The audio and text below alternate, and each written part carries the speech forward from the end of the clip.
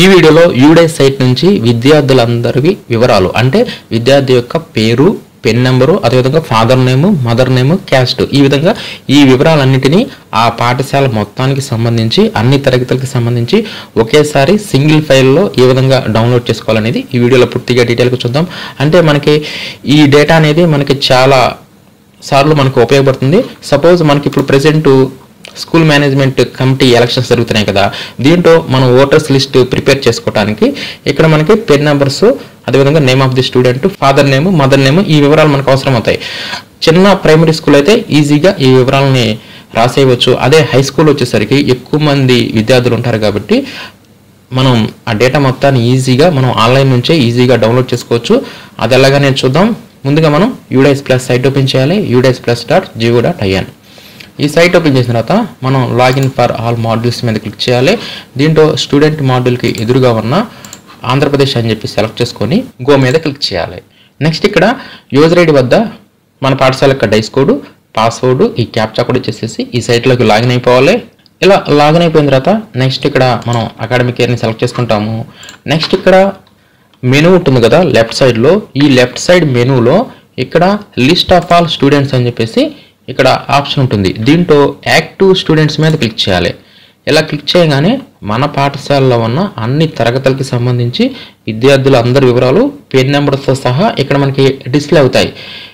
దీన్ని మనం డౌన్లోడ్ చేసుకోవడానికి ఇక్కడ డౌన్లోడ్ ఎక్సెల్ అని ఉంది కదా దీని మీద క్లిక్ చేస్తే ఈ వివరాలన్నీ కూడా ఎక్సెల్లోకి డౌన్లోడ్ అయిపోతాయి.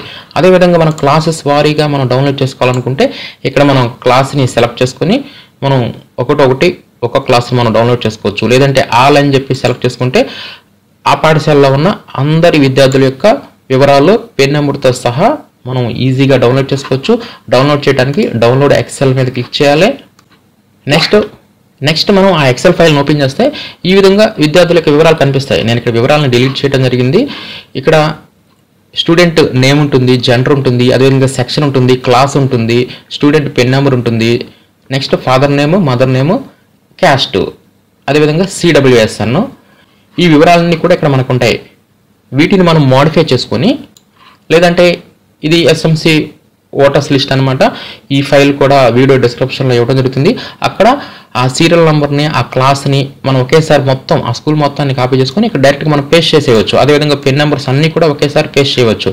అడ్మిషన్ నెంబర్ అంటే ఇది మనం రాయాల్సి ఉంటుంది. లేదంటే ఈ అడ్మిషన్ నెంబర్ తీసేసిన నో ప్రాబ్లం ఎందుకంటే పెన్ నెంబర్ ఉంటుంది కాబట్టి next name of the student ఈ వివరాలన్నీ కూడా ఇందాక సైట్లో నుంచి మనం డౌన్లోడ్ చేసుకున్నాం కదా. ఆ ఫైల్లో నుంచే మనం అందరికి ఒకేసారి కాపీ చేయవచ్చు.